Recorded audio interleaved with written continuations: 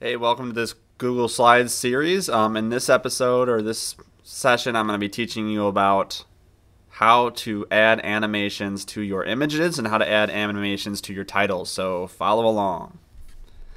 First, you want to click Go to Google Slides. Once you do that, um, go ahead and pick a slideshow. I'm just going to do a random one. I'm going to do this recipe book one. And now we're going to want to add animations to our presentation. In order to do that, we're going to find a slide that has text and images. So I'm going to pick this one right here, and I'm going to animate every single thing on this on this uh, screen or on this page.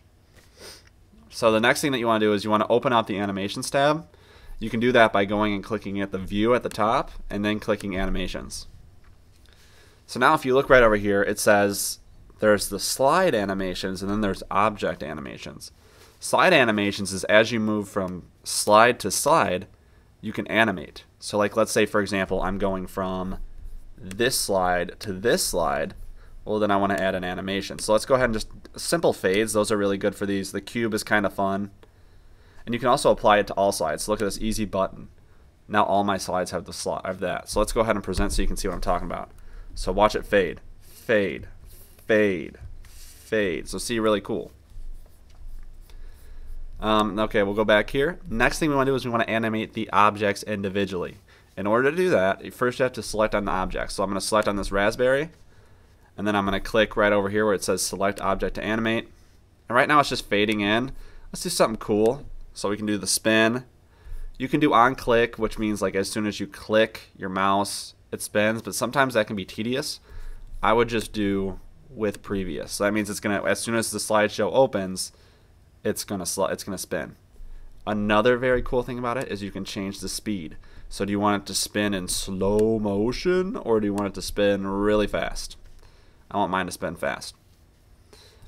So let's let's animate. Let's see what this looks like, and then you can play it so you can preview it. So there we go. that's spend. Now let's say I want to animate some other things. I want to animate this box. Let's click Add Animation. And I want this one to fly in from the right. Oops, I mean fade out. And I don't really like this on click thing, so I'm going to do with previous again. And then let's do by paragraph. let's see what this looks like. Boom, boom, boom. So that looks really cool.